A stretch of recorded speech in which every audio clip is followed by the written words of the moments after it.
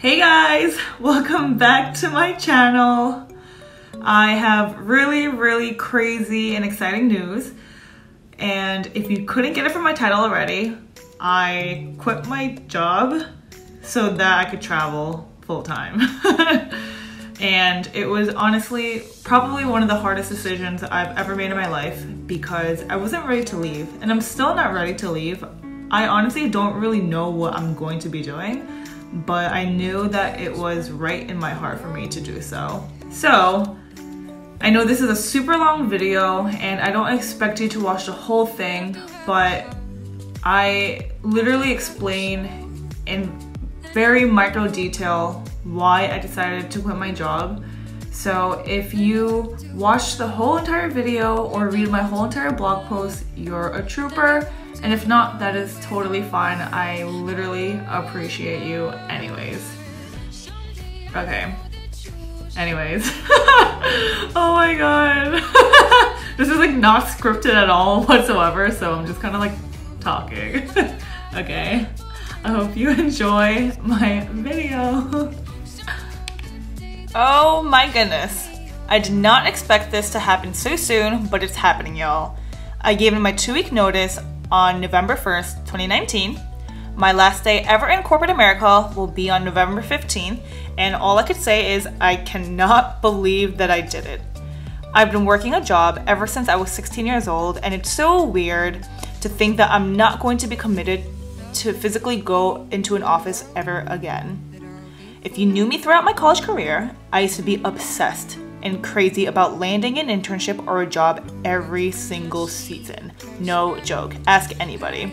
I was obsessed with building my resume and I worked my butt off to make sure that I was working up to corporate standards. So the fact that I've been able to leave my job still boggles my mind. Proof? Feel free to stalk my LinkedIn. But if anyone needs help on resume building or looking for a job within marketing or human resource management, feel free to reach out to me. I've got tons and tons of referrals, and I'd like to confidently say that I've also mastered resume building, landing internships and jobs, and finessing interviews. So, throughout my college career, I'm pretty sure that I've applied to at least 200 plus internships freshman to junior year, and I've applied to another 200 plus full time jobs my senior year. I wish I was kidding, but I'm not. It wasn't even about making money back then, but I was obsessed with learning and wanting to be kept busy all the friggin' time. I've been working full time in corporate for the last 2.5 years, and all I could say is how freaking blessed I am to have had the opportunity to work at three amazing companies since graduating at Rutgers University in May 2017. Ever since I was in grade school, I always knew I was going to work within sales and marketing. I'm not sure how or why I knew it, but it just felt right in my gut. When I got into college, I never took a marketing class because the marketing major was under the Rutgers Business School, which I got rejected to. So I took the easy way out and double majored in economics and human resource management with a minor in labor studies in order for me to land a marketing like job once I graduated from college. And it worked because every single job I got out of college was within sales and marketing. So now you're probably wondering why I decided to quit my job if I worked so hard to land my jobs in the first place. Well, there are a couple reasons why, and some of them that I never thought would have been contributing reasons for. So here are the four reasons why I decided to quit my job. The first reason is because I have a dying obsession to travel the world. If you've been following me this past year, I've been obsessed with traveling and creating content around travel. I purposely go out of my way to different cities or New York City every weekend I'm home just to explore the city, be on the road, and take pictures of as many sunrises and sunsets as I can. I lose sleep to try to attempt and capture the sunrise even though I fail to do so so many times. I seriously need to find a good, reliable app that pinpoints optimal areas to capture the sun wherever I am around the globe. I also love, love, love writing reviews about certain cities, the best coffee shops, and having the opportunity to shoot with some of the most talented photographers all around the world. I also love being one with nature. The pure joy of being around natural landscapes and not being around technology all the time gets me, and I don't think I will ever, ever, ever get enough of it. And a lot of people have been asking why I don't travel internationally as often. And there are a few reasons why I don't right now. For one, ever since April of 2019, I've been extremely strict with my time and my expenses. I stopped meeting up with people as I normally would. I stopped going out every weekend and started focusing more on building myself. If you've known me since high school, I used to go out twice a week, every week, from when I was 18 to 24 years old. Now that's a lot of time going out, forgetting probably half the nights, and just being wasted. but overall, I had to make this sacrifice, and this type of sacrifice was probably one of the hardest things that I've honestly ever had to do, mainly because I was losing touch with so many people. And since I'm a total extrovert, it was hard adjusting to its total solitude type of lifestyle. But I limited myself because I was desperate for my blog to work out. Every time I came back from an international trip, I pretty much always wanted a vacation from my trip to adjust to the time difference, but end up taking longer breaks from it and would lose my momentum. And I'm not saying there's anything bad about international trips because I'd love to do that more often. So, because I was losing so much time on working on my side hustles, I was very strict on myself for not traveling far distances in order to preserve my energy and focus on building up my travel blog in order to showcase destinations, provide tips on countries and cities, and obviously to try to convince others to travel more often.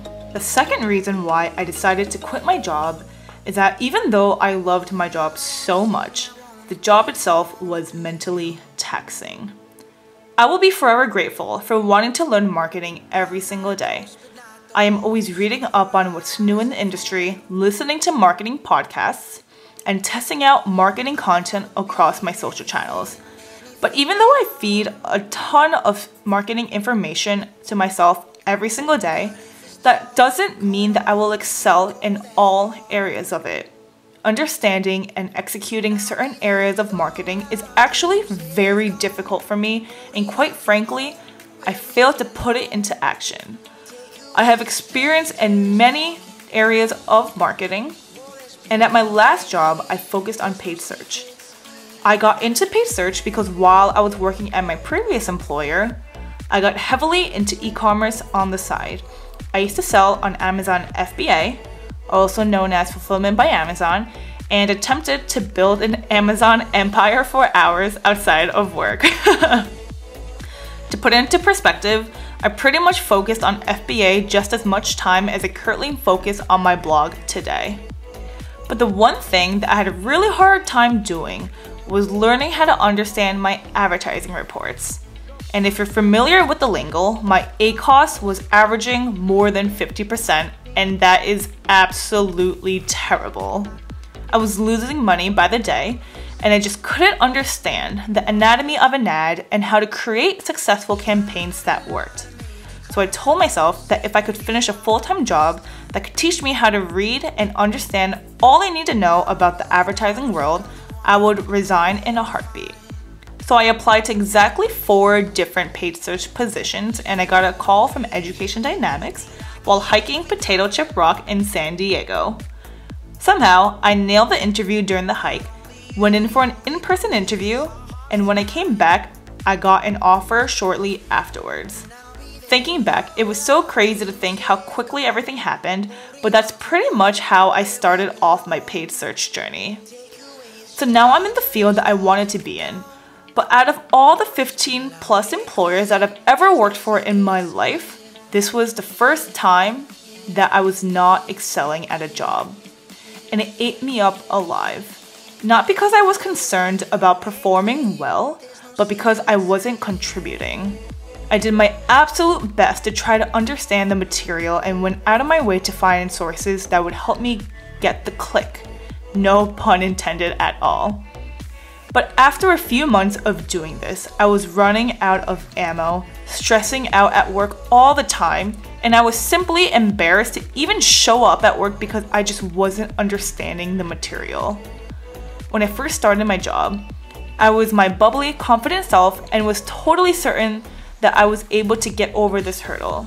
But after five, six, seven months passed where I should have gotten it by now, I just wasn't.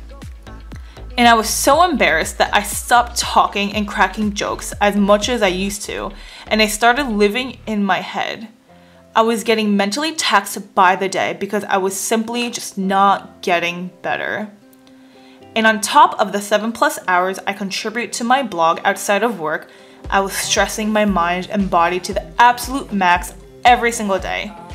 I used to have such clear skin, but it started breaking out like no other. It was getting very hard for me to start digesting my food, and I was losing sleep every single day.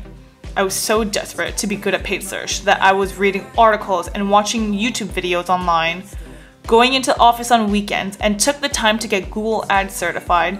I took a digital marketing course at Noble Desktop in New York City, and I even reached out to paid search experts when visiting Austin, Texas. And even though I did all of this to even be mildly good at paid search, I just wasn't getting it and meeting expectations. So after realizing that paid search was just not the right fit for me, I decided that I needed to call it quits. I was trying to force myself to be good at something that I wasn't. So after taking a lot of time to think about it, I had to make the decision to just let it go. I realized that I needed to focus my energy on something that I could excel at and be really, really good at. And from this moment on, I gave them my two week notice on November 1st, 2019, and my last day at Education Dynamics is going to be on November 15th, 2019. This sucks because I love my team so much. We get along so, so well, and I'm going to miss the ridiculous conversations we all have about the weirdest things ever. I'm gonna miss Jason trolling me that there was a ghost hacking into my computer for weeks. I'm going to miss hearing Christy munch on chips at 9 in the morning and drink her fifth cup of tea by noon. I'm going to miss Christina's delicious cooking and hospitality in and out of work. I'm going to miss Teresa's random stories about Chinese gangs and hearing her speak Korean better than I ever can. I'm going to miss Yichen's poop stories and her heart for creating the best team that I could have ever had the pleasure of being a part of. And even though I'm not going to be physically there anymore, guys, I promise that I'll always be there in spirit. I love you guys so much and I just want to thank you all for making my last corporate experience my best and my last. At Education Dynamics, I've learned more about paid search, building campaigns, website design, and overall optimizations more than I could ever possibly have imagined. I wholeheartedly value all the time, energy, and effort my boss put into me during my time there. And when I say hours, I literally mean hours. My boss was and still is the best boss I could have ever asked for. I learned paid search from the absolute best. And if you ever want to pursue paid search as a job, seriously let me know. I'm not even trying to be biased, but I would not have wanted to learn paid search from anyone else. She breaks down advertising in the most simplest forms and provides the best examples on the spot. Sometimes I've realized why she isn't making courses to teach people online. But if your company is looking into hiring someone to run ads for you, this lady right here is wicked and will make you more money than you could ever imagine. I was averaging five hours of sleep per day, even on the weekends, working on my side hustles for about an hour of my commute to and from work, and working the hour throughout lunch. Hence why I never ate with my team. I was so desperate. And even though I don't monetize on my blog at the moment, I've been so obsessed with sharing. And I know and trust myself that if I have the luxury of contributing the additional 12 hours that I put into my 9 to 5 desk job across my social channels, monetizing on my blog might come sooner than I think. I hit my end of the year financial savings goal two weeks ago, so I guess timing oddly happened at a perfect time. So now, how am I going to be financially supporting myself in the meantime? I have no idea, but I am looking across many creative outlets to potentially make money. So, if anyone has any suggestions, please leave a comment below or personally message me. Any additional help would be much appreciated. And the fourth and last reason why I decided to quit my job is because I finally got over my insecurities and the false lies living deep within me. If you've been following my travel journey this past year, I sincerely want to thank you for keeping up with me. Depending on the current situation in my life, my posts and messages have been ranging from happy-go-lucky me to depressing ass posts. So if you've kept up with me, I genuinely appreciate you so much because I even get annoyed trying to keep up with myself. But the reason why I got into sharing as much as I do on social media is because I needed an outlet to express my inner emotions and feelings. I was so desperate, and I was going through my first and hopefully last breakup and the biggest heartache of my life. I was desperate to find an outlet to liberate my thoughts, since I've never felt my heart try to kill me alive so badly. And even though I had full support of all my friends and family, for some reason I just didn't want to socialize and I shut down every single day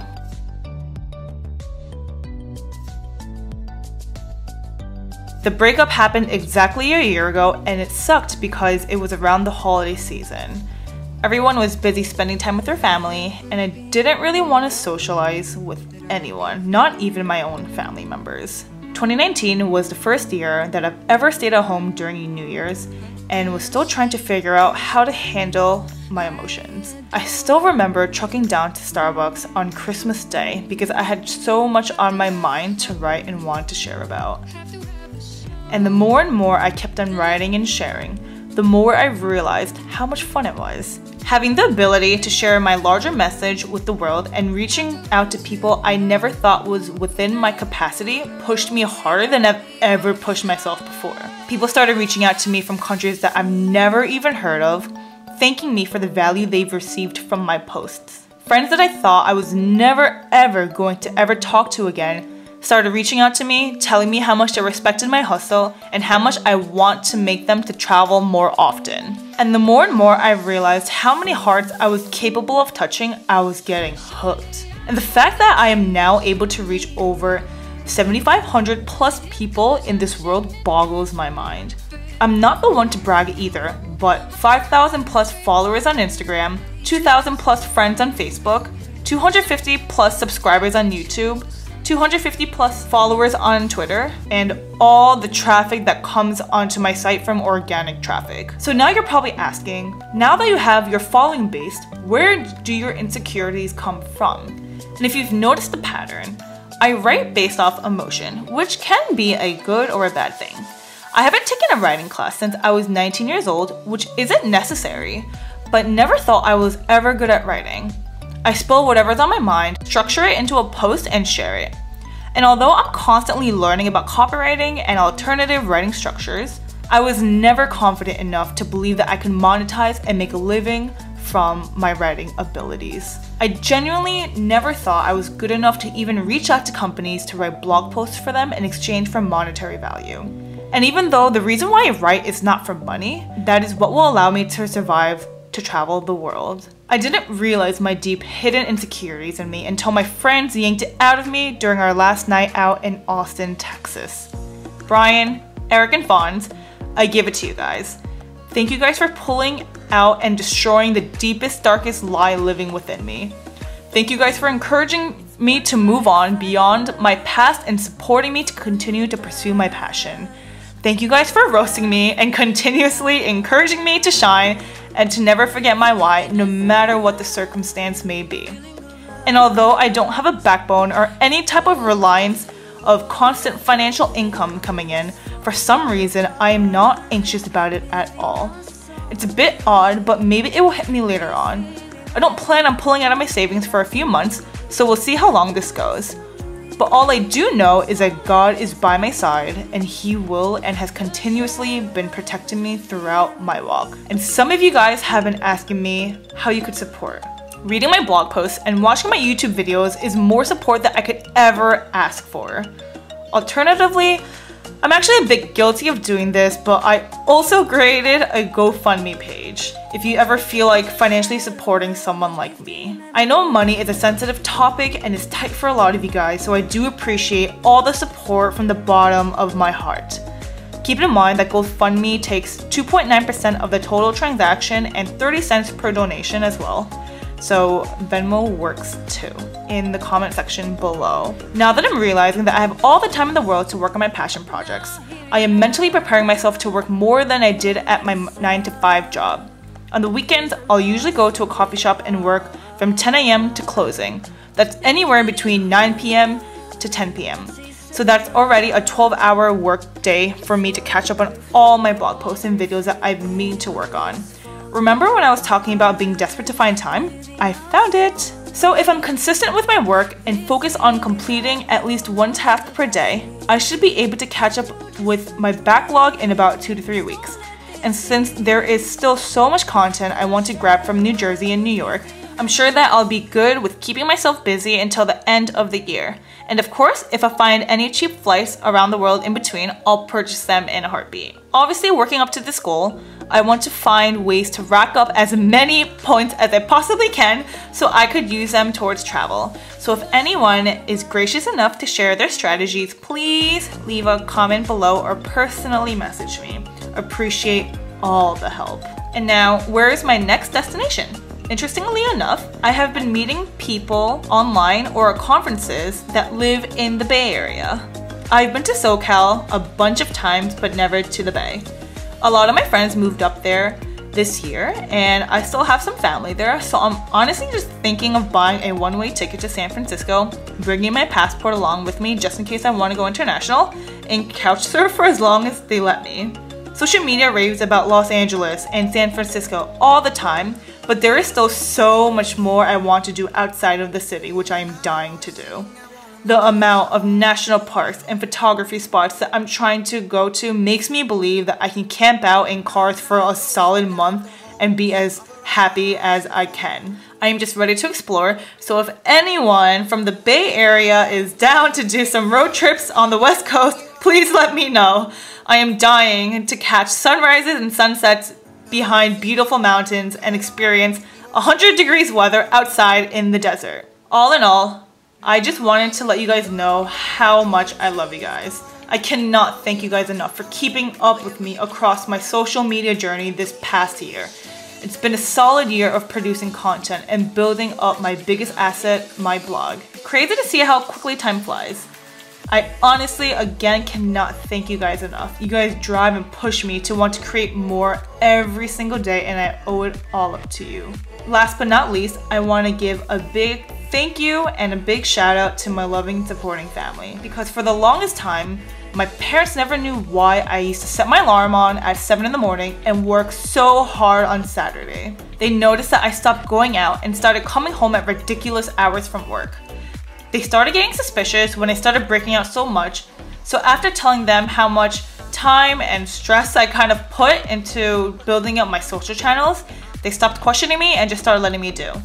And just a few weeks ago, my heart melted because my mom told me that she ran out of YouTube videos on my channel that she could give a thumbs up for. Don't worry mom, I'm in the works of making more videos so that you can give me more likes. So after my parents noticed how hard I was working for months, I finally told them that I wanted to drop everything and travel full time. And what shocked me was that they were not totally opposed to it, which honestly freaked me out in the beginning. And knowing my mom, she would have opposed this idea from my life. But because I proved to my parents how hard I worked to pursue my passion projects every single day, they have gained my trust. It's a blessing because my mom straight up told me that she's not worried about me at all because she has me covered in her prayers and my dad told me that whatever happens to me in the world, that I could always fall back home in Jersey. And this is all I've ever, ever wanted and asked for. Full support from my parents. I have never wanted to work so hard for somebody else. I owe it up to you guys. Thank you guys. I love you guys both so much. And as for my siblings, Ani, thank you for always listening to my rants, correcting and teaching me concepts, and putting things into perspective. You are the best older sister I could have ever asked for. You think I'm a hustler? My big sis hustles harder and more efficiently than me and is the definition of a go-getter. Thank you for all your love and support, keeping me sane and being the voice and ears I've always been searching for. Isaac, I am so, so proud of you for stepping out of your old, lazy habits that used to drive me insane. I'm so happy that you set yourself financial goals, bought yourself a Sony a7 before me for the money you saved up from working at FlyNYON because you wanted to get into automotive photography. I'm so proud of you for being on the route of finishing up school a semester early to start your post-college life earlier than others. Not a lot of people can do that your age. Isaiah, I am so relieved that you started undergrad and you are slowly starting to find yourself in school. You really needed to leave the house and I'm so freaking happy. I laughed so hard when you called me your first week of school asking if you should buy silver or black earrings. You freaking rebel. There's a lot that you're going to learn in college, so just do me one favor and just always be open-minded. Just stop being so logical all the time because it's annoying. but I still think black looks better on you. And to Annie, my favorite cousin in the whole entire world, I honestly don't know how to express how, how grateful I am to have you in my life and the pleasure of calling you my blood. You have been my constant throughout it all. You honestly keep me sane and you always know the right things to say when I need to hear it. I am also so proud of you for getting so far and have embarked your real estate career in North Carolina. You're already killing the game and I cannot wait to see you in the top 100 Forbes women soon. So any of y'all, if you need a new house or need to rent a house in North Carolina, hit my cousin up. And to all my supportive and loving friends, thank you guys so much. I genuinely couldn't have done it without you guys and thank you so much for believing in me. No matter how many times y'all have asked me to come out and I have just said no. So moving onward. I know this video and this blog post have been freaking long and I can't believe you made it this far. You're crazy because this post and this video might as well have been published as a book. But if you did get it to the end, I honestly thank you for listening to my why. You are truly a trooper. Now, I hope you understand my why and all of the reasons as to why I decided to quit my job. I hope you got something out of this post and that I've inspired you to do something new and different with your life. I also want to remind you that you are beautifully and wonderfully made and that you have a crazy, crazy amount of talent living deep within you. You just gotta do a little bit of soul searching and break out of your comfort zone to let your creativity shine. I support your journey and decision in whatever you do, as long as you know that in your gut that you've made the right choice. And if I've convinced you to travel a little bit more often, you have made me the happiest girl in the world. Because remember that you only have one life and one world. Happy traveling, y'all. I love you guys so much. Thanks. Bye